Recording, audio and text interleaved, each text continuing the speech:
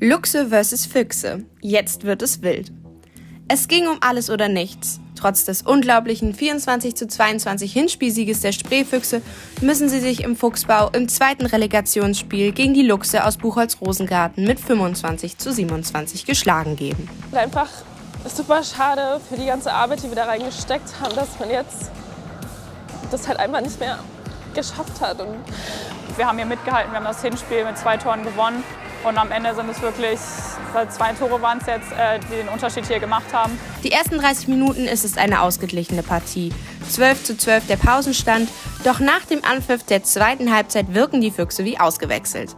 Mit dem festen Vorhaben, sich den Sieg und damit den Aufstieg zu sichern, rissen sie ein wahres Torfeuerwerk ab.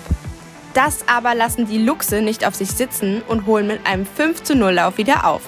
Die Füchse nun durch den Punktestand leicht in Panik und erzielen durch überalte Angriffe keine Tore mehr. Zehn Sekunden vor Schluss gelingt es dann zwar noch ein Tor zu werfen, doch da ist der Verbleib in der zweiten Liga schon besiegelt. Da fehlen auch einfach die Worte und man ärgert sich über sich selber, dass man heute nicht die Leistung gezeigt hat, die man hätte zeigen können. So endet eine harte Saison, die von Verletzungen begleitet war.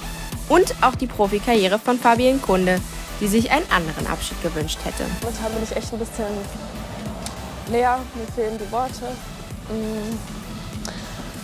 Natürlich hätte ich mir einen viel besseren Abschluss gewünscht, einfach mit den Mädels. Davon lassen sich die Füchse aber nicht runterziehen, denn in der nächsten Saison geht's weiter.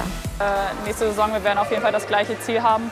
Äh, nochmal eine Schippe drauflegen, wahrscheinlich Vorbereitung nochmal noch mal härter und ähm, hoffentlich sind wir dann auch nicht mit so vielen Verletzungen äh, geplagt im, im, in der Saison und dass wir da auch hier mit der vollen Mannschaft dann weiter das Ziel verfolgen können. Jetzt geht es für die Mädels erstmal in die Sommerpause.